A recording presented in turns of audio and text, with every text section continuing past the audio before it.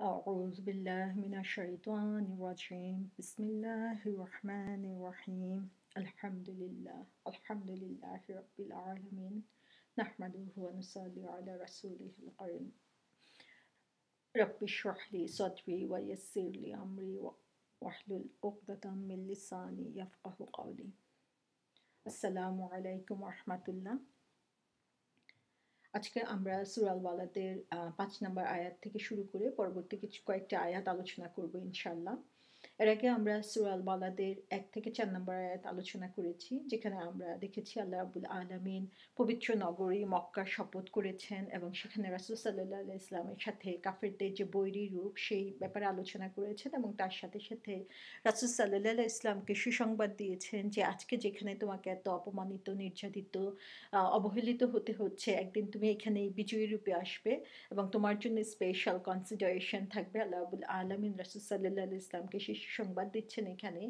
এখানে কাফেরদেরকে আল্লাহ আবুল আলমিন যেন চোখে আঙ্গুল দিয়ে লজ্জা দিচ্ছেন যে যে ইব্রাহিম আলাহ ইসলামকে এবং ইসমাইল আলাহ ইসলামকে তোমরা তোমাদের পূর্বপুরুষ মনে করো, যাদের ধর্মকে তোমরা আঁকড়ে ধরে আছো মনে করো, তারই সন্তান মোহাম্মদকে আজকে তোমরা হত্যা করার জন্য কুণ্ঠাবোধ করছ না যে কি ধরনের নিকৃষ্ট কাজ তারা করছে, সেটা আল্লাহ আবুল আলমিন তাদেরকে এখানে স্মরণ করিয়ে দিচ্ছেন।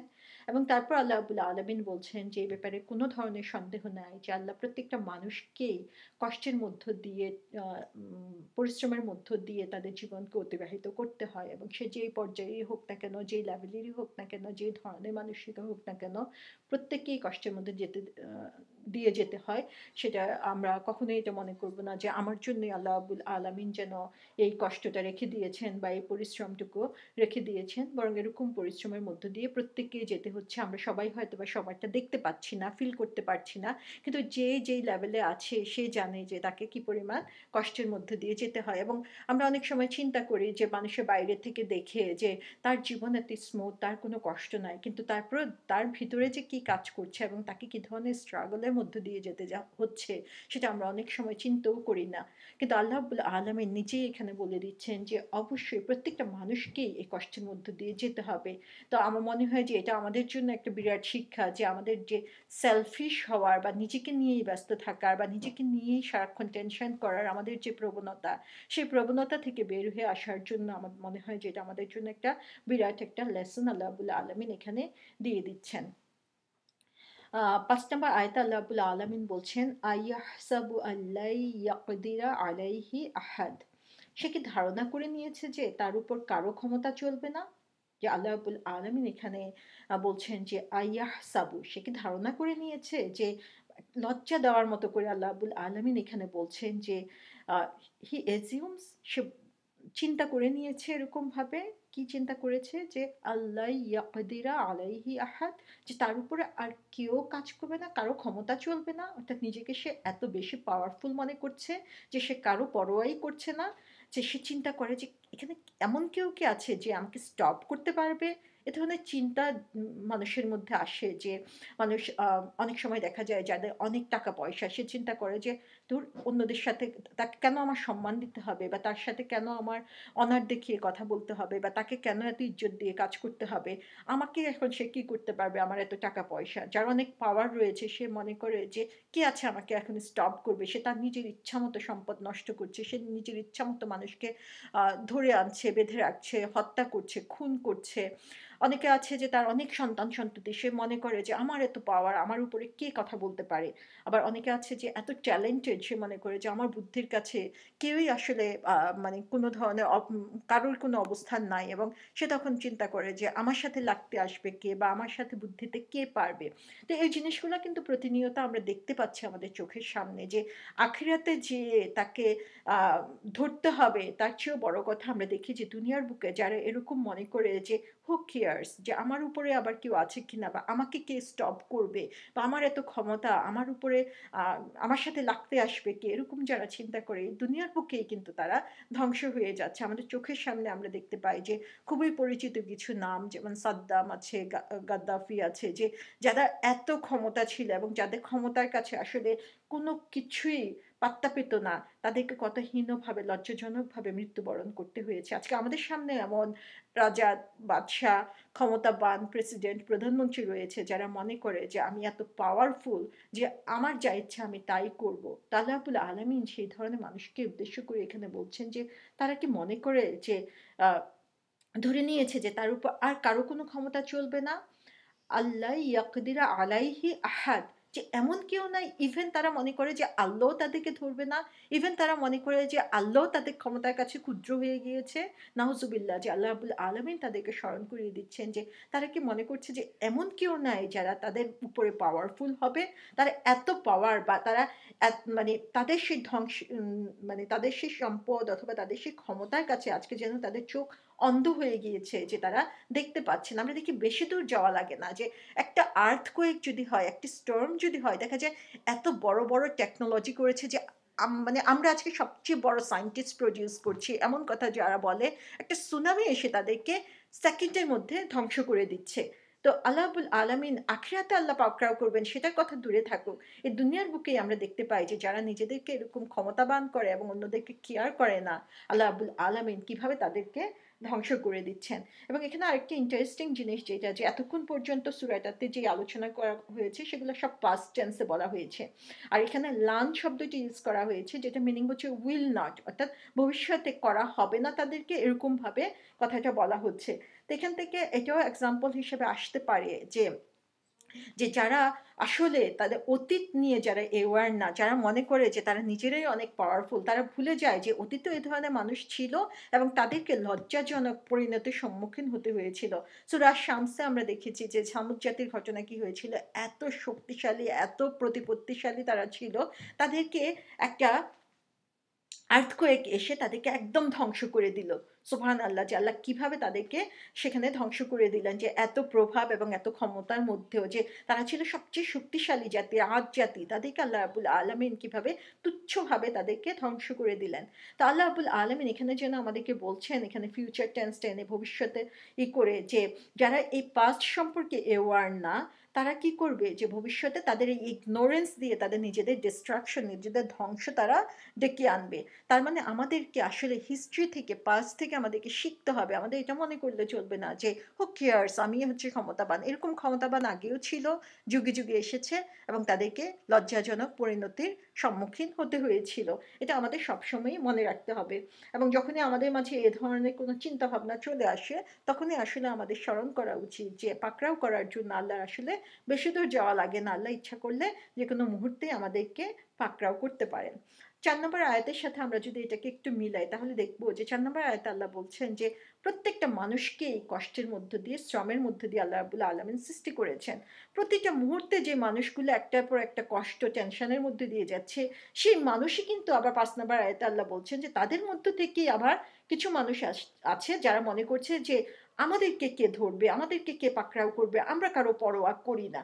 তো আল্লাহ আবুল আলমিন বলছেন যে এই যে, তারা কিন্তু আল্লাহর কথা তো মিথ্যা হতেই পারে না এবং আমরা জানি যে প্রত্যেকটা মানুষেরই নিজেদের লিমিটেশন রয়েছে, কষ্ট রয়েছে। কিন্তু তারপরেও তারা নিজেদেরকে, অন্যদের সামনে নিজেদের মাথাটাকে উঁচু করে রাখার জন্য বা নিজেদের ক্ষমতাকে দেখানোর জন্য এ ধরনের শো আপ তারা করে। তো এটা অনেকটা এরকম যে মনে মনে স্ট্রেসে থাকলেও বাইরে সবাইকে তাদের কনফিডেন্স শো করতে হয়। এটা যেন আরেকটি স্ট্রাগল তাদের জন্য। যেমন সেলিব্রিটিদের কথা আমরা চিন্তা করতে পারি যে, তারা বাইরে থেকে দেখাচ্ছে, সবাই দেখতেছে যে তারা কত হাসি খুশি, তারা কত সুন্দরভাবে পারফরমেন্স করছে, কিন্তু প্রত্যেকটা পারফরমেন্স পারফরমেন্সের আগে তাদের যে কী পরিমাণ টেনশন ওরের মধ্যে দিয়ে যেতে হয় অনেকটা ওষুধ খেয়ে এসে তাদের সেই পারফরমেন্স শো করতে হয়। তো আসলে আল্লাহ আবুল আলমিন এটা দেখাচ্ছেন যে মানুষের ন্যাচারালি মানুষকে আল্লাহ আবুল আলমিন এই ওরে দিয়ে অথবা পরিশ্রমের মধ্য দিয়ে সৃষ্টি করেছে। কিন্তু এর মধ্য থেকে কিছু মানুষ আছে যারা নিজেদেরকে শো আপ করতে চায় যে আমি কাউকে কেয়ার করি না, কাউকে পরোয়া করি না এবং সেই মানুষগুলাকে তখন তার নিজের সাথেও সেই যুদ্ধটা করতে হচ্ছে এবং সে কনফিডেন্স শো করার জন্য তাদেরকে আসলে আরও বেশি স্ট্রাগলের মধ্য দিয়ে যেতে হচ্ছে। তারপরে ছয় নম্বর আয়তে বলা হয়েছে, ইয়াকুলু আহলাতু মালাল লুবাদা এবং সে বলে, আমি বিপুল পরিমাণ ধন সম্পদ উড়িয়ে দিয়েছি। এখানে বলা হচ্ছে যে কি? লাবাদ। লাবাদ শব্দটা বলা হয়েছে। লাবাদ শব্দ মিনিং হচ্ছে যে কোনো লিকুইড এবং স্টিকি জিনিস যেটা হচ্ছে দিয়ে একটার উপরে আরেকটা স্টিকিনেসের কারণে এটা একটার সাথে আরেকটা লেগে থাকে। তো এখানে লুবত শব্দটা দিয়ে আসলে বোঝানো হয়েছে যে, সে তার ধন সম্পদ এমনভাবে জমাতে থাকে যে, একটার পর একটা যেন এই স্টিকিনেসের মতো যে, এমনভাবে পাইলের পর পাইল তৈরি হয় যেন এদের স্টিকি হয়ে একটার সাথে একটা লেগে আছে এবং ধন সম্পদের স্তূপ তারা গড়ে তোলে। এবং সে কি বলে? সে বলে যে, আমি আমার বিপুল ধন সম্পদ উড়িয়ে দিয়েছি। তো এখানে উড়িয়ে দেওয়া বলতে যে সে বলে না যে আমি আমার ধন সম্পদ খরচ করেছি, আমি আমার ধন সম্পদ স্পেন্ড করেছি, সেটা সে বলছে না। সে বলছে যে আমি আমার ধন সম্পদ উড়িয়ে দিয়েছি, যেন আমি ডেস্ট্রয় করে দিয়েছি, আরে আমার ধন সম্পদ আমি এমনি ফেলে দিয়েছি এরকমভাবে তো এটা হচ্ছে এক ধরনের ওয়ে অফ এরোগেন্স যে সে তার এরোগেন্সটা এখানে সে শো করছে। মানুষকে দেখাচ্ছে যে আমার এত টাকা পয়সা, এত ধন সম্পদ রয়েছে যে সেগুলা আমি এমনিতেই ফেলে দেই এরকম ভাবে অবস্থা যে উড়িয়ে দিলাম, এরকম অবস্থা বোঝানোর জন্য যে সে যে কত রিচ সেটা বোঝানোর জন্য সে এ ধরনের এক্সপ্রেশন ইউজ করে। এবং এটা যেন এরকম যে সেই এই সম্পদের ওনার এবং যত বড়াকা এই যে তার এত ধন সম্পদ হয়েছে, সেটা সোল সোর্স হচ্ছে যে যেটা আমরা আগেও বলেছি যে সুরাল ফজর আল্লাহ আবদুল্লাহ আলমিন বলেছেন যে, যখন পনেরো নম্বর আয়তে যে যখন তাকে ধন সম্পদ দেওয়া হয়, যে এবং নেয়ামত আল্লাহ রাবুল্লাহ আলমিন দান করেন, তখন সে বলে যে, আমার রব আমাকে সম্মানিত করেছেন যে, আল্লাহ আমাকে এত পছন্দ করেন যে, তিনি আমাকে বা সে মনে করে যে, আমি এমন রিসোর্সফুল অথবা আমার এমন কোয়ালিটি রয়েছে যে কারণে সমস্ত বারাকা যেন আমার কাছে চলে এসেছে। এবং এত ধন সম্পদ আমার কাছে চলে এসেছে, সে কি করে? যে ডোন্ট কেয়ার ফর মানি যে তার টাকা পয়সা সে কোন দিকে খরচ করছে? এবং মানুষকে শো আপের জন্য সে এই জিনিসগুলো খরচ করছে, যেন মানুষকে দেখায় যে তার স্ট্যাটাসটা কি? এটা হচ্ছে তার মানে তার যে স্ট্যাটাসের যে লেভেলটা সেটাকে শো করার জন্য সে এভাবেই করে। আমরা অনেক সময় দেখি যে রাস্তা দিয়ে বুম করে স্পোর্টস কার্ডগুলো চলে যায় যে মানুষকে শো করে, যে আওয়াজ করে মানুষকে দেখিয়ে সে এতে মজা পাচ্ছে যে দেখো আমি কি চালাচ্ছি এরকম একটা। বিয়ে বাড়ির যখন আয়োজন করা হয়, সে বিয়ের অনুষ্ঠানে জাক জমক করে ব্যান্ড এনে মানুষকে শো করা হয় যে টাকা পয়সা সেখানে উড়িয়ে দেওয়া হয় শুধু দেখানোর জন্য যে দেখো আমার স্ট্যাটাসটা কীরকম, যে খাবারের প্রতিযোগিতা, যে কত আইটেম করতে পারি এবং কার চেয়ে বেশি করতে পারি, সে ধরনের কম্পিটিশন করে দেখানো যে দেখো আমি আরও কত বেশি করতে পারি, আমার কত অসম্পদ রয়েছে। তো এরকমভাবে তারা কি করে যে তাদের ধন সম্পদকে বলে যে, আমার ধন সম্পদ আমি উড়িয়ে দিলাম, আমার ধন সম্পদ আমি ফেলেই দিলাম। দেখো, আমার কত সম্পদ আছে যে আমার জন্য গায়েই লাগে না। তো এই যে কথাগুলো তারা বলছে, সেখানে যে এই লোকগুলো যারা আসলে নিজেরা কাউকে পরোয়া করে না, সেই লোকগুলো এরকম করতে করতে তাদের নেচারের মধ্যে এরকম এসে যায় যে, বলে যে ইয়া করল আহ্লাক্ত। তখন তারা বলতেই থাকে, মানুষ যখন কোনো একটা কাজ করতে থাকে, সেটা ভালো হোক বা খারাপ হোক, তখন করতে করতে সেটা তার নেচারের মধ্যে এমন ভাবে বসে যায় যে, তখন তার কথা, কাজ, আচার, ব্যবহার সমস্ত কিছু সেটাকে রিফ্লেক্ট করতে থাকে যে, মানুষ যখন আহ বল, আল্লাহ বলছেন যে ইয়াহসাবু আল্লাহ ইয়াক্তির আহাদ। সে মনে, ইয়াক্তির আলাইহি আহাদ, যে মানুষ মনে করে যে আমার উপরে কেউ নাই, যখন এভাবে সে সারাক্ষণ চিন্তা করতে থাকে, তখন সে বলেই ফেলে মুখে, তখন তার মুখ দিয়ে অটোমেটিক্যালি বের হয়ে আসে যে, দেখো, আমি আমার ধন সম্পদ কীভাবে নষ্ট করে দিচ্ছি? তার স্ট্যাটাসটা বোঝানোর জন্য যে সে কত রিচ তার কত বড় ব্যাংক ব্যালেন্স রয়েছে, সে যে কত কোটি কোটি সেটা বোঝানোর জন্য সে এভাবে নিজেকে এক্সপ্রেস করে। তো এই ব্যাপারে তাপসিকাগন বলেছেন যে এ ধরনের এক্সপ্রেস করা আসলে দুইটা কারণ থাকতে পারে। একটা, তিনটা কারণ থাকতে পারে। একটা হচ্ছে তার অ্যারোগেন্স তার শো আপের যে প্রবণতা, সেটা থেকে সে এটা করছে। আরেকটা হচ্ছে যে আমরা জানি যে কিছু মানুষ আছে তারা ওভার স্মার্ট যে আমরা হয়তো বা কোথাও গেলাম যে কিছু দান করার কথা বলব বা কালেকশনের জন্য কোথাও যাওয়া হলো। যাওয়ার সাথে সাথেই সে কি করে? যে সে তখন বলতে থাকে, দেখো, অমুক জায়গায় আমি এত টাকা খরচ করেছি, অমুক জায়গায় এত টাকা দিয়েছি, অমুক কাজে এই গাড়ি কিনতে এত টাকা খরচ হয়ে গেল ওই বাড়ির পিছনে এত টাকা খরচ হয়ে গেল, ছেলেকে বিদেশ পাঠাবো। তো এরকম ভাবে সে আগে থেকেই এক্সকিউজ দিতে থাকে যে যারা ডোনেশনের জন্য এসেছে, তারা যাতে আবার বলতে না পারে যে তাদেরকেও কিছু টাকা দেখ এবং তার কথা বলার ওয়েতেই তখন দেখা যাবে যে টাকা বা কালেকশনের জন্য এসেছে, সে তখন সেই কালেকশনের কথা বলতেও সে সাহস করবে না। সেটাও তার একটা ওয়ে হতে পারে ট্রিক হতে পারে। আরেকটা অর্থ বলা হয়েছে যে, এই ধরনের লোক, তখনকার সময়ে কিছু লোকের কথা বলা হয়েছে যারা করতো, যে কাজটা করতো, তাদের প্রচুর ধন সম্পদ ছিল এবং সেই ধন সম্পদ তারা কি করতো? রাসুসাল্লাহ ইসলামের অ্যাগেনস্টে তারা খরচ করতো এবং তাদের খরচ করার উদ্দেশ্য কি ছিল? তারা সমস্ত কাজে রাসুল সাল্লাহ ইসলামের অ্যাগেনস্টে যত কার্যক্রম ছিল প্রত্যেকটা কাজে তারা টাকা খরচ করতো এবং খরচ করে তারপরে বলতো যে, দেখো, আমি এই কাজের জন্য এত টাকা উড়িয়ে দিয়েছি। এখন আমাকে তোমরা তোমাদের লিডার বানিয়ে নাও। অর্থাৎ তার সেই লিডারশিপের জন্য লিডারশিপের যে আকাঙ্ক্ষা তার ছিল, সেই আকাঙ্ক্ষার কারণে সে তখন এই কাজগুলো করতে থাকতো। এবং তাদের ব্যাপারে সুর আল ফজরে আল্লাহ আবুল আলমিন বলছেন, যেখানে তারা বলবে যে, ইয়াকুল ইয়াল্লা ইতানি কদ্দাম তুলি হায়াতি যে সে তখন বলবে যে, হায়, আমি যদি এই জীবনের জন্য অগ্রিম কিছু ব্যবস্থা করতাম, অর্থাৎ এই লোকগুলো এত টাকা পয়সা সেখানে উড়িয়ে দিয়েছে, খরচ করেছে, কিন্তু আখিরাতে যেয়ে দেখবে যে তাদের ফান্ড সেখানে খালি হয়ে রয়েছে এবং তখন তারা আফসোস করতে থাকবে যে, ইয়াকুলু ইয়ালাইতানি কাদ্দাম তুলি হায়াতি আবুল আলমিন আমাদেরকে সে ধরনের লোক থেকে সাবধান থাকার এবং আমরাও যাতে তাদের মধ্যভুক্ত হয়ে না যাই, সেই তৌফিক দিন।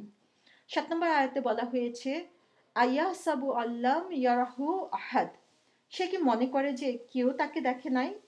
যে এর আগে বলছে যে সে কি মনে করে যে কারও পরোয়া করে না এবং তখন সে এভাবে কথা বলতে থাকে? এবং তারপরে আল্লাহ বলছেন যে সে কি মনে করে যে তাকে কেউ তাকে দেখে নাই? এখানে ইয়ারাহু বলতে বোঝানো হয়েছে যে সে যে ওয়াচড হচ্ছে অবজার্ভড হচ্ছে, তাকে যে প্রতিনিয়ত কেউ না কেউ দেখছে, সে কথাটা কি সে ভুলে যায়? এবং সে ভুলে যাওয়ার কারণেই মানুষ কি করে? যে কোনো উপায় সে টাকা পয়সা উপার্জন করছে, কোন পথে সে ব্যয় করছে, কোন নিয়তে কাজ করছে, সেটা অনেক সময় সে ভুলে যায়। এবং এই সব কিছুই হচ্ছে, দেখা যায় যে মানুষ মনে করে যে, আল্লাহ, কে আমাকে ই করবে? কে আমার বিরুদ্ধে কাজ করবে? কিন্তু একজন যে সমস্ত কিছু খেয়াল করছেন, সমস্ত কিছু অবজার্ভ করছেন, সেই কথাটা অনেক সময় আমরা ভুলে এই ডিরেল্ড হয়ে যাচ্ছে। এবং আল্লাহ আলমিন বলছেন যে মানুষকে সে কি মনে করে নিয়েছে যারা এই ধরনের কাজ করে যে তাকে কেউ দেখে না? এবং সুরা ফজরের ছাব্বিশ নম্বর আয়তা আল্লাহ আবুল আলমিন বলছেন যে, ওয়ালা ইউসিক ওয়াসাকাহু এবং আল্লাহ যেমন বাঁধবেন, তেমন বাঁধবারও কেউ নেই। যে যখন আল্লাহ ধরবেন, এখন মনে হচ্ছে যে কেউ আমাকে দেখছে না, আমি আমার ইচ্ছা মতো কথা বলছি, ইচ্ছা মতো কাজ করছি, ইচ্ছা মতো এটিচিউড করছি। অথচ আল্লাহ যেদিন বাঁধবেন, সেদিন বাধা, সে বাধার মতো আর কেউই বাঁধবার মতো থাকবে না। তা আল্লাহ আবুল আলমিন আমাদেরকে রক্ষা করুন যেন আমরা সেই ধরনের অবস্থানে পৌঁছে না যাই। তারপর আট নম্বর আয়তা আল্লাহ বলছেন, আলাম নাজ আল্লাহু আইনাই। আমি কি তাকে দুটি চোখ দেই নাই? তো এখানে আল্লাহ আবুল আলমিন এবং নয় নম্বর আয়তে বলছেন, ওয়ালিসানা ওয়া শাফাতাইন এবং একটি জিব্বা এবং দুটি ঠোঁট দেই নাই। তো এখানে আট নম্বর এবং নয় নম্বর আয়তে আল্লাহ আবুল আলমিন তিনটা জিনিসের কথা এখানে উল্লেখ করেছেন। আল্লাহ এখানে স্মরণ করিয়ে দিচ্ছেন যে এই মানুষগুলোকে যে আমি কি তাদেরকে দুইটা চোখ, একটা জিব্বা এবং দুইটা ঠোঁট দেই নাই? তো এই ব্যাপারে তাফসিরগণ বলেছেন যে, কেন আল্লাহ আবুল আলমিন এরকম স্পেসিফিক কিছু জিনিসের উল্লেখ করেছেন? তো ফার্স্টেই বলা হয়েছে যে, আহ আই আইনাইন যে চোখ, দুইটা চোখের কথা বলা হয়েছে। তো মানুষের যে নলেজ সেই নলেজে এইটি পার্সেন্ট অফ নলেজের সোর্স হচ্ছে মানুষের চোখ দিয়ে, মানুষ যা দেখে সেখান থেকে সে পায়। এবং সেটাই হচ্ছে আমাদের একটা মেজর একটা সোর্স যে আমরা আমাদের যে জ্ঞান অর্জন করছি। তো কোনটা সত্য, কোনটা মিথ্যা, কোনটা সঠিক, কোনটা বেঠিক সেটা বোঝার জন্য আমাদের চোখ আসলে অনেক বড় একটা শক্তি এবং সেটাই আমাদেরকে সঠিক পথ দেখানোর জন্য অনেক বেশি সহায়ক হতে পারে যদি আমরা সেই শিক্ষাটা নিতে পারি। এবং আরেকটা অর্থ বলা হয়েছে যে আল্লাহ আলমী এখানে স্মরণ করিয়ে দিচ্ছেন যে এর আগেই বলা হয়েছে সে মনে, সে কি মনে করেছে যে তাকে কেউ দেখছে না? এবং আল্লাহ আবুল আলমিন এখানে বলছেন যে তোমাকে যেমন দুইটা চোখ দেওয়া হয়েছে সেরকম ভাবে এমন একজন রয়েছেন যিনি দেখতে পাচ্ছেন যে তুমি কি করছ, সেটা কি ভালো করছ নাকি খারাপ করছ, কত খারাপ তুমি যেতে পারো সেটাও তিনি সেখান থেকে অবজার্ভ করছেন। এবং আরেকটা অর্থ এখানে হতে পারে যে আল্লাহ আবুল আলমিন এখানে বলছেন যে যেহেতু আমরা আগেই বলেছি যে আল্লাহ আবুল আলমিন আমাদেরকে এখানে একটা শিক্ষা দিচ্ছেন যে পাস্ট থেকে হিস্ট্রি থেকে শেখার জন্য, তো এখানে আল্লাহ আবুল আলমিন এটাও আমাদেরকে বলতে পারেন যে don't you see what happen to other nations যখন তুমি হিস্ট্রির দিকে তাকাবা পাস্ট নেশনসগুলোর দিকে তাকাবা, তখন তুমি চিন্তা করবা যে, দেখতে পাচ্ছ না যে তাদের কি হয়েছিল এবং সেখান থেকে কি আমাদের শিক্ষা নেওয়ার মতো কিছু নাই। এবং আরেকটা অর্থ হতে পারে যে আল্লাহ আলমিন তার নিয়ামতের কথা এখানে স্মরণ করিয়ে দিচ্ছেন যে, এই যে দুইটা চোখ, সেই দুইটা চোখের জন্য how much you can pay যে, এই দুইটা চোখের জন্য কতটুকু তুমি পে করতে পারবা? যে, আমরা, এই যে দুইটা চোখ আল্লাহ দিয়ে দিয়েছেন, এটাকে আমরা গ্র্যান্টেড ধরে নিয়েছি, এবং কিন্তু এই দুইটা চোখের যে কাজ, যে, এই দুইটা চোখে দেখে, শুনে আমাদেরকে সঠিকটাকে শিখতে হবে এবং সেটা ফলো করতে হবে, সেটা আমরা অনেক সময় ভুলে যাই। তা আল্লাহ আলমিন বলছেন যে, are you able to pay cost for this eyes যে এই দুইটা চোখ যে আল্লাহ দিয়েছেন, এগুলোকে যে আমরা ইচ্ছা মতো ইউজ করছি, সেটার জন্য যে দাম দেওয়া দরকার, মূল্য দেওয়া দরকার, সেটা দেওয়ার ক্ষমতা কি আমাদের আছে? সুরাল মুলক আল্লাহ আলমিন সুন্দর বলেছেন যে সুম্মার্জিয়াল বাসারা কারাতাইলি ইয়ানকালিবু ইলাইকাল বাসারা খাসিয়ান ওয়া হাসির। যে মানুষের মুমিনদের দৃষ্টিটাই হচ্ছে এরকম যে সে বারবার এই প্রকৃতির দিকে তাকাবে এবং প্রকৃতির দিকে তাকানোর পরে তার চোখ বিনীত, নম্র হয়ে ফিরে আসবে যে তার ভিউ চেঞ্জ হয়ে যাবে। সে তখন এই চোখ দিয়ে তাকানোর ফলেই আল্লাহ নিয়ামতগুলো দেখার কারণে তার ইমান তখন আরও বেশি বেড়ে যাবে। তো আল্লাহুল আলমী এই কারণেও দুইটা চোখের কথা এখানে আমাদেরকে স্মরণ করিয়ে দিতে পারেন। তারপরে বলেছেন একটি জিব্বা। সো জিব্বার কাজ কি জিব্বা দিয়ে আমরা দেখা যায় যে এই জিব্বাটা দিয়ে এই যে সে কাউকে পরোয়া করে না, এই যে সে নিজেকে এত ক্ষমতাবান মনে করে, এই জিব্বাটাই সে বোস্টিং এর কাজ এখানে ইউজ করছে। তাহলে আবুল আলমিন মনে করিয়ে দিচ্ছেন যে, এই যে জিব্বাটা, এটা কে দিয়েছে এবং কি কাজে তুমি এখানে ইউজ করছ? এবং সাথে লিপসের কথা বলা হয়েছে, দুইটা ঠোঁটের কথা বলা হয়েছে যে বলছেন এই লিপসের কাজ কি? লিপসের কাজ হচ্ছে to control and silence your tongue যে এই টাংটাকে কন্ট্রোল করার জন্য, আমরা জানি যে এই টাংটা দিয়ে আমরা ভালো কথা বলতে পারি, আবার এই টাংটাই আমরা খারাপ কাজে ইউজ করতে পারি। আল্লাহ আমাদেরকে সেটা স্মরণ করিয়ে দিচ্ছেন। কিন্তু এটার জন্য গার্ড হিসাবে দুইটা ছোট আল্লাহ দিয়ে দিয়েছেন যে আমি ইচ্ছা করলেই যেন কথাগুলো বলে না ফেলি, আমি যেন এই ঠোঁটগুলো দিয়ে কন্ট্রোল করতে পারি। তো এটাও একটা মিনিং হতে পারে যে আল্লাহ আমাদেরকে স্মরণ করিয়ে দিচ্ছেন যে এই যে টাং দিয়েছেন, এই যে ঠোঁট দিয়েছেন, এটাকে কন্ট্রোলড ওয়েতে আল্লাহ সন্তুষ্টির জন্য ইউজ করার জন্য। আরেকটা অর্থ হতে পারে সেটা হচ্ছে যে এই টাং এবং ঠোঁট দিয়ে আমরা কি করি? আমরা কোশ্চেন করতে পারি, আমরা আস করতে পারি, আমরা সত্যটা জেনে নিতে পারি। আমরা কেন অন্ধভাবে কোনো জিনিসকে বিশ্বাস করব? আমরা কি আল্লাহ এখানে বলছেন যেন, যে তোমরা কি কোশ্চেন জিজ্ঞাসা করতে পারো না যেটা তোমরা বোঝো নাই বা যে ব্যাপারে তোমাদের সন্দেহ ছিল? তোমরা কেন এই ভুলের উপরে বসেছিলা? তো এরকম ভাবে আল্লাহ আবুল্লাহ আলমিন তার কিছু নিয়ামতের কথা আমাদেরকে স্মরণ করিয়ে দিচ্ছেন। এবং আরেকটা অর্থ হতে পারে যে এই জিব্বা দিয়ে যে এবং ঠোঁট দিয়ে যে কনভারসেশন হচ্ছে, সেই কনভারসেশন থেকেও আমরা শিখতে পারি এবং এই কোরআনের মধ্যে আমরা দেখি অনেক কনভারসেশন আল্লাহ আবুল্লাহ আলমিন উপস্থাপন করেছেন এবং সেটাও আমাদেরকে লেসন দেওয়ার জন্য, শেখার জন্য। তো এই প্রত্যেকটা জিনিসই আমাদের জন্য শিক্ষামূলক এবং এই শিক্ষাটাকে আমাদের কাজে লাগিয়ে আমাদের ইমানকে বৃদ্ধি করতে হবে। এবং আমরা দেখি যে আমাদের এই যে দৃষ্টিশক্তির মাধ্যমে এবং আমাদেরকে যে বুদ্ধি ট্যালেন্ট আল্লাহ আবুল আলমিন দিয়ে দিয়েছে এর বহির্প্রকাশটা আমরা কীভাবে ঘটাবো? এই চোখ দিয়ে আমরা যা শিখছি, চোখ দিয়ে আমরা যা দেখছি, সেটাকেই এক্সপ্রেস করব হচ্ছে আমাদের জিব্বা এবং ঠোঁটের মাধ্যমে। অর্থাৎ চোখ দিয়ে আমরা দেখব এবং শিখব এবং জিব্বা এবং ঠোঁট দিয়ে সেটাকে প্রচার করব, সেটাও একটা অর্থ এখানে হতে পারে। তারপর আল্লাহ আবুল্লাহ আলমিন বলছেন দশ নম্বর আয়াতে ওয়াহাদাইনা হুন নাজিদাইন যে আমি কি তাকে দুটি স্পষ্ট পথ দেখাই নাই? আল্লাহ আবুল আলমিন এখানে বলছেন যে আল্লাহ আবুল আলমিন হাদা, যে গাইড করা যে আমি কি তাকে গাইড করি নাই? নাজদাইন যে দুটা স্পষ্ট পথ দুটি স্পষ্ট পথে কি আমি তাদেরকে গাইড করি নাই? এখানে নাজাদ শব্দটার যে মিনিং করা হয়েছে সে নাজাদ শব্দটার মিনিং হচ্ছে একটা প্রশস্ত রাস্তা। যে প্রশস্ত রাস্তাটা হচ্ছে ক্লিয়ার অফ ভেজিটেশন যে সেটা একদম শুষ্ক রাস্তা যেখানে কোনো ধরনের গাছপালা অথবা ঘাস লতা পাতা কোনো কিছুই নাই, শুকনো একটা রাস্তা, কিন্তু ক্লিয়ার একটা রাস্তা এবং যেটা হ্যাডিং আপ এ মাউন্টেন যেটা পাহাড়ের উপরে উঠে গিয়েছে, এ ধরনের রাস্তাকে নজর বলা হয়। তো আমরা একটু ইমাজিন করতে পারি যে একটা প্রশস্ত রাস্তা যেটার মধ্যে কোনো ধরনের গাছপালা বা ঘাস লতা পাতা কিছুই নেই এবং সেটা উপরের দিকে পাহাড়ে উঠে গিয়েছে, এ ধরনের রাস্তাকে নাজেদ বলা হয়ে থাকে।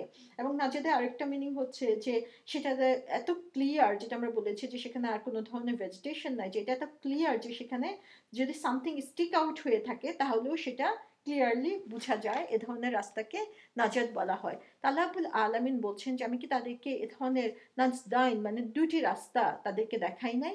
এবং দুটি রাস্তা বলতে এখানে কি বোঝানো হয়েছে? যে, একটা হচ্ছে যে, ভালো রাস্তা আর একটা হচ্ছে খারাপ রাস্তা। তাহলে আল্লাহুল আলামিন এখানে তার যে নিয়ামতগুলো দেওয়া আছে, তার চোখ, ঠোঁট এবং জিব্বার কথা বলে বলেছেন। এবং তারপরে আল্লাহুল আলামিন বলছেন যে, আমি কি তাকে সুস্পষ্ট দুইটা পথ দেখাই নাই, এবং সেই দুইটা পথ কি? সে দুইটা পথ হচ্ছে একটা ভালো পথ আর একটা হচ্ছে খারাপ পথ। এবং এই ব্যাপারে আমরা দেখি যে সুরাল লাইলের চার থেকে দশ নম্বর আয়াত আল্লাহ আলমিন বলেছেন যে, নিশ্চয়ই তোমাদের কর্ম প্রচেষ্টা বিভিন্ন ধরনের। অতএব যে দান করে এবং ক্ষুধাভীরু হয় এবং উত্তম বিষয়কে সত্য মনে করে, আমি তাকে সুখের বিষয়ের জন্য সহজ পথ দান করব। আর যে কৃপণতা করে ও ব্যাপরোয়া হয় এবং উত্তম বিষয়কে মিথ্যা মনে করে, আমি তাকে কষ্টের বিষয়ের জন্য সহজ সহজ পদ দান করব। তাহলে এখানে আমরা দেখি যে আল্লাহ আলমিন সুরা লাইলো এরকম কোরআনে বিভিন্ন জায়গায় আল্লাহ দুইটা ক্লিয়ার ওয়ের কথা বলে দিয়েছেন যে আল্লাহ আবুল আলমিন মানুষের জন্য দুইটা রাস্তা ঠিক করে দিয়ে দিয়েছেন এখন যে যে রাস্তায় চলবে আল্লাহ আবুল আলমিন, সেই রাস্তাটাই তার জন্য সহজ করে দিবেন। তাহলে এই আয়াতটা থেকে আমরা দেখি যে আল্লাহ আবুল আলমিন যেন আমাদেরকে ভিজুয়ালাইজ করাচ্ছেন যে এমন দুইটা রাস্তার কথা চিন্তা করো যে ক্লিয়ার রাস্তা যে দুইটা আপ হিল পাহাড়ের দিকে চলে গিয়েছে, কিন্তু দুইটা ডিফারেন্ট ওয়েতে দুইটা ভিন্ন রাস্তা চলে গিয়েছে এবং দুইটা ভিন্ন রাস্তারই হচ্ছে যে কষ্টের মধ্য দিয়ে হার্ডশিপের মধ্য দিয়ে যেতে হবে এবং সেটাই আল্লাহ আবুল আলমিন এখানে বলে দিচ্ছেন, যেটা আমরা দেখি, চার নম্বর আয়তাল্লাহ কি বলছেন? যে লাকাত খালাকনাল ইনসানা ফি কাবাদ।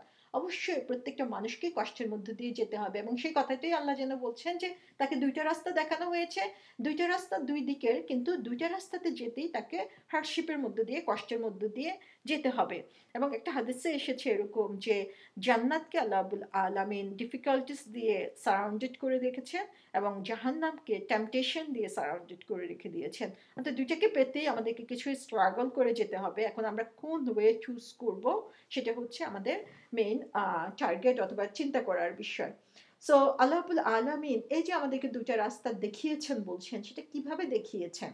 সেটার ব্যাপারে বলা হয়েছে, একটা হতে পারে ইন্টারনাল যেটা হচ্ছে বাইরে থেকে দেখা যাচ্ছে না, সেটা হচ্ছে ফিতরা, আমাদেরকে যে ফিতরাতের উপর সৃষ্টি করা হয়েছে, সেটা একটা হতে পারে যে আল্লাহুল আলমিন আমাদের ভালো এবং মন্দ বুঝার যে ক্যাপাবিলিটি দিয়ে দিয়েছেন, সেটা দিয়ে আমরা করতে পারি। এবং আরেকটা হচ্ছে যেটা বাইরে থেকে দেখে বোঝা যায় বা এক্সটার্নাল সোর্স বলা যায়, সেটা হচ্ছে আল্লাহ আবুল আলমিন আমাদেরকে সবসময় হোলি বুক দিয়ে দিয়েছেন যে আহলে কিতাবদের জন্য আল্লাহ আবুল্লাহ আলমিন কিছু বুক বা সহিফা দিয়ে দিয়েছেন, যার মাধ্যমে তিনি প্রতি মুহূর্তে গাইড করেছেন মানুষকে। আরেকটা হচ্ছে মেসেঞ্জার দিয়ে দিয়েছেন। তো আল্লাহাবুল আলমিন এরকম ফিতরাতের মাধ্যমে এবং আমাদের জন্য যে বুক দিয়ে দিয়েছেন, সেই বুকের মাধ্যমে এবং আমাদের জন্য যে গাইড রাসুলদের দিয়ে দিয়েছেন, তার মাধ্যমে তিনি আমাদেরকে এই দুইটা স্পষ্ট পথ দেখিয়ে দিয়েছেন। সুরা দাহারের দুই এবং তিন নম্বর আয়তে আল্লাহ বলছেন, আমি মানুষকে এক মিশ্রিত শুক্রকীর দ্বারা সৃষ্টি করেছি। তার পরীক্ষা নেওয়াই আমার উদ্দেশ্য।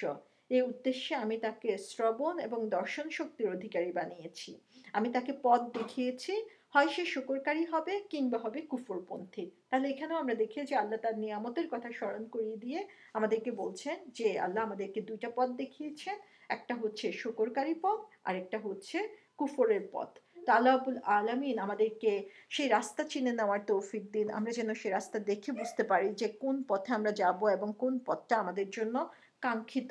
এবং আল্লাহুল আলমিন তারপরে এগারো নম্বর আয়াতে বলছেন যে ফালাক তাহামাল আকাবা। কিন্তু সে দুর্গম বন্ধুর পথ অতিক্রম করার সাহস করেনি। এখানে ফালাক তাহামাল আকাবা শব্দটা দিয়ে যে, আহ, ইকতাহামা ইকতাহামা শব্দটার মানে হচ্ছে যে কোনো কিছু লাভ দিয়ে কোনো কিছুতে ইনভলভ হয়ে যাবে এবং যখন সে ইনভলভ হলো তখন বুঝতে পারল যে ইটস রিয়েলি হার্ড যে সে ফার্স্টে ভেবে নিয়েছিল যে খুব সহজ কিছু একটা হবে বা সে এত বেশি এক্সাইটেড ছিল যে যে কারণে সে কাজটাকে সে অ্যাকসেপ্ট করে নিয়েছিল এবং যখন সে শুরু করল তখন দেখল যে, না, এটা একটা বোকার মতো কাজ হয়ে গিয়েছে বা এটা করা বা এটা নেওয়াটা তার দর, উচিত ছিল না।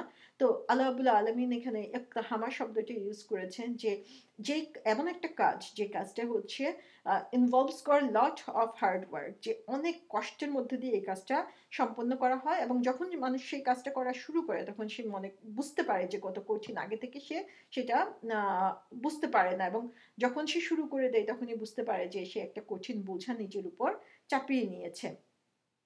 এবং আকাবাহ শব্দটার মিনিং বলা হয়েছে যে আকাবাহ হচ্ছে এমন একটা রাস্তা, যে রাস্তাটা হচ্ছে মাউন্টেন রেঞ্জের মধ্য দিয়ে অর্থাৎ পাহাড়ের মধ্যে উপরের দিকে চলে গিয়েছে, যেখানে হাইয়েস্ট পয়েন্ট এবং যে জায়গাটা যাওয়া আসলেই খুব কষ্টকর এবং কষ্টসাধ্য, যেটা খুব ডিফিকাল্টের মধ্য দিয়ে খুব স্টিপ একটা রাস্তা, সেই রাস্তাটা পার হতে হয়, এ ধরনের রাস্তাকে আকাবা বলা হয়েছে। সো আল্লাহুল আলমিন এখানে ফালাক তাহামাল লাক তাহামাল শব্দটি ইউজ করে এখানে কোরআনের এই শব্দটি ইউজ করে আসলে একটা নতুন ধরনের অর্থ এখানে দিয়েছেন, যেটা গ্রামারিয়ানরা সুন্দরভাবে এটা এক্সপ্লেন করেছেন। আমি ইনজিস্ট সহজভাবে যেটা বোঝা যায় সেটুকু বলছি সেখানে, যে এই লাক তাহামা শব্দ দিয়ে এখানে বোঝানো হয়েছে যে এটাতে মাল্টিপল জিনিস মাল্টিপল কম্পোনেন্ট রয়েছে এই রাস্তাটা পার হওয়ার ব্যাপারে এবং এই রাস্তাটা পার হতে হলে তাকে মাল্টিপল জিনিস বা মাল্টিপল থিংস তাকে অ্যাটেন্ড করতে হবে। সেই কথাটা এখানে বোঝানো হয়েছে এবং পরবর্তীতে যখন আমরা আলোচনায় যাব তখন দেখব যে আসলে কি কি জিনিসের কথা সেখানে বলা হয়েছে। এবং এটা আরেকটা অর্থ হচ্ছে যে আল্লাহ আবুল্লাহ আলমিন এখানে বলছেন যে ওয়াই ডিডেন্ট হি আল্লাহ যেন কোশ্চেন করছেন এখানে, কেন সে এটা করে নাই? যে, কেন সে এই কঠিন রাস্তাটা, যে কঠিন রাস্তাটার কথা আল্লাহ বলছেন আকারবা বলে, সে কঠিন রাস্তাটা কেন সে ঝাঁপিয়ে পড়ে নাই? কেন সে এটা করতে রাজি হয় নাই? আমরা দেখি যে আল্লাহ আবুল আলমিন দুইটা রাস্তায় কথা বলেছেন এবং এই দুইটা রাস্তার মধ্যে মানুষ কি করে? আমরা দেখি যে, না যখন কোনো কাজ দেওয়া হয়, তখন যে জিনিসটা আমাদের কাছে আপাত দৃষ্টিতে সহজ মনে হয়, আমরা কিন্তু সেটাকেই ধরে নেই। যখন মনে হয় যে, না, অনেক কষ্ট করতে হবে, কষ্টের মধ্যে দিয়ে যেতে হবে, তখন সেটা থেকে আমরা দূরে সরে থাকার জন্য চেষ্টা করি। তো দেখা যায় যে, ভালো রাস্তা যেটা সেই ভালো রাস্তাটা প্রথমে শুরু করতে কিন্তু অনেক কষ্ট। আমার নিজের সাথে অনেক যুদ্ধ করে, সমাজের সাথে, আশেপাশে যারা আছে, সবার সাথে যুদ্ধ করে, তারপরে আমাকে ভালো কাজটা শুরু করতে হবে এবং পরবর্তীতে সেটা আল্লাহ ফেসিলিটেট করে দেয়। আর যেটা খারাপ কাজ ফার্স্টের দিকে সেটা আমার যেহেতু টেম্পটেশনে ভরা, সে কারণে দেখা যায় যে প্রথম দিকে খুব সহজ মনে হয়, কিন্তু আস্তে আস্তে এটা আমার লাইফকে অনেক বেশি ডিফিকাল্ট করে দেয়। তো মানুষ যেহেতু সবসময় সহজটাকেই পেতে চায় আগে, সে কারণে সে কি করে? সেই কঠিন মানে ভালো রাস্তাটাকে সে অ্যাভয়েড করতে চায়। তাহলে আবুল আলমিন এখানে প্রশ্ন করছেন যে তাকে আমি চোখ দিয়েছি, তাকে বুঝার শক্তি দিয়েছি, তার জন্য এত হিস্ট্রি তার জন্য এত শিক্ষা রয়ে গিয়েছে এবং তাকে ক্লিয়ারলি আমি দুইটা রাস্তা দেখালাম। তারপরেও সে কেন এই কঠিন রাস্তাটার জন্য, এই আঁকাবার জন্য কেন সে ঝাঁপিয়ে পড়ে নাই? কেন সে সেটার জন্য সাহস করে নাই? কেন সে সে ভালো রাস্তাটা যদিও এটা অনেক কষ্ট, কিন্তু তারপরেও সে জানে যে আলটিমেট রেজাল্ট কি? তারপরে কেন সে সেটার দিকে ঝাঁপিয়ে পড়ে নাই। আল্লাহবুল আলমিন যেন আমাদেরকে সেই কোশ্চেন করছেন যে কীভাবে আমরা ভালোটা জানার পরেও নিজেকে সেটা থেকে দূরে সরিয়ে রাখছি। এবং তারপরে বারো নম্বর আয়াতে বলা হচ্ছে, ওয়ামা আদরাকামাল আকাবা। তুমি কি জানো সে দুর্গম বন্ধুর পথটি কি? ফার্স্টে আল্লাহ বলছেন যে, কীভাবে সে নিজেকে এটা থেকে দূরে সরে রাখছে? কেন সে ঝাঁপিয়ে পড়ে নেই এই রাস্তাটার পরে? তারপরে আল্লাহ আমাদেরকে জানাচ্ছেন যে, এই আকাবাটা কি? এই দুর্গম রাস্তাটা যে কঠিন রাস্তাটাকে মানুষ অ্যাভয়েড করতে চায় সেই কঠিন রাস্তাটা কি? এবং সেই কঠিন রাস্তাটা কি সেটা নিয়ে আমরা ইনশাল্লাহ পরবর্তী দিনে আলোচনা করব এবং সেখানে আমরা যেটা বলেছি যে এই রাস্তাটা পার হওয়ার জন্য মাল্টিপল কম্পোনেন্ট লাগবে মাল্টিপল ক্যারেক্টারিস্টিক লাগবে মাল্টিপল থিংস আমাদেরকে ডান করতে হবে। সে রাস্তাটা কি কি কাজ করতে হবে সেটা নিয়ে আমরা ইনশাল্লাহ পরবর্তী দিনে আলোচনা করব। তো আল্লাহুল আলমিন এই পর্যন্ত যে কথাগুলো নিয়ে আলোচনা করেছেন, সেই কথাগুলো যদি আমরা চিন্তা করি যে আল্লাহ আমাদেরকে যে কষ্টের মধ্য দিয়ে সৃষ্টি করেছেন, কিন্তু তারপরও আমরা ব্যাপারও হয়ে যাই, আল্লাহর কথা ভুলে যাই এবং নিজেকেই পাওয়ারফুল মনে করে অনেক কাজ করে ফেলি। কিন্তু তারপরে আল্লাহ আবুল্লাহ আলমিন বলছেন যে এটা তার স্বভাবের মধ্যে এমনভাবে বসে গিয়েছে যে তার ধন সম্পদকে সে উড়িয়ে দিচ্ছে এবং সবাইকে সেটা শো আপ করছে। এবং সে মনে করছে যে কেউ তাকে দেখছে না, সে যা ইচ্ছা তা করবে। এবং আল্লাহ বলছেন যে, আমি মানুষকে চোখ দিয়েছি জিব্বা দিয়েছি, ঠোঁট দিয়েছি, নিয়ামত দিয়েছি, তাদেরকে গাইড করেছি দুইটা রাস্তায়। কিন্তু তারপরেও মানুষ আমরা এত আসলে নিজের যে ভবিষ্যৎ পরিণাম নিয়ে এত তুচ্ছ তাচ্ছিল্য করছি যে, সে কঠিন রাস্তাটা যদিও কঠিন, কিন্তু সেটা আমাদেরকে একটা ভালো পরিণামের দিকে নিয়ে যাচ্ছে। সেই রাস্তাটা থেকে আমরা নিজেদেরকে দূরে সরিয়ে রাখছি। তো আল্লাহ আবুল আলমিন আমাদেরকে সেই রাস্তাটা চিনার এবং সেই রাস্তা পার হওয়ার জন্য যে ধরনের ক্যারেক্টারিস্টিক লাগে সেটা জানার জন্য আমরা ইনশাল্লাহ পরবর্তী আয়াতগুলোতে আলোচনা করব। নেক্সট প্রোগ্রামে আল্লাহ আবুল আলমিন আমাদের সবাইকে তৌফিক দিন এ কথাগুলোকে বুঝার এবং আমল করার তৌফিক ইল্লা বিল্লাহ। আসসালামু আলাইকুম রহমতুল্লাহ।